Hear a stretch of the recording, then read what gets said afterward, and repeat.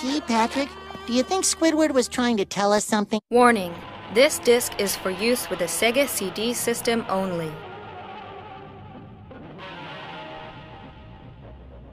This disc contains CD-ROM data and is not for audio use.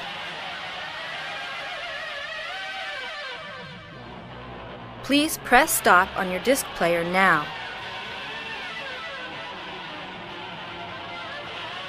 This disc contains CD-ROM data that may damage your audio system. Please stop playing this disc immediately.